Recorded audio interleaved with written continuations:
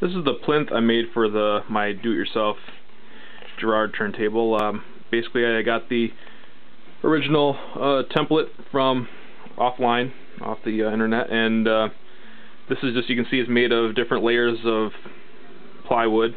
I didn't use MDF, I just used plywood. It's very sturdy, solid. I had this thing a lot wider before, but it was just way too wide to use on any of my surfaces and tables and desks, so I decided to cut it down to just a little bit larger than the actual Garrard base itself there.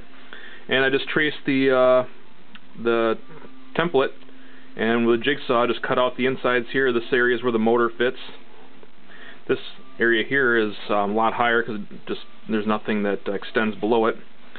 I used the original um, RCA connects there and then I put some washers in the holes because um, I had to drill them deep and then they were too deep for the um, springs to that support and suspend the turntable base.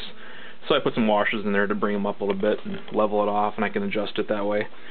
Um, it's just an oak oak board on the sides to kind of trim it and make it look nice.